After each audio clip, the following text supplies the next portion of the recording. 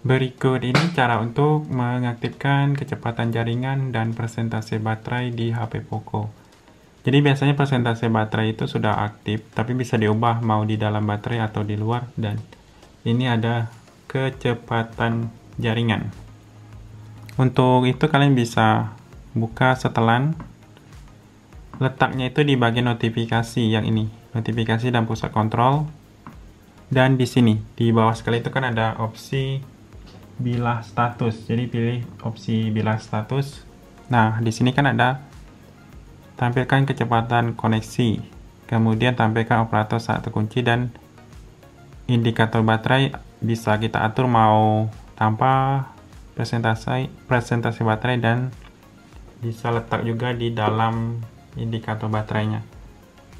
Jadi sesimpel itu silahkan dicoba.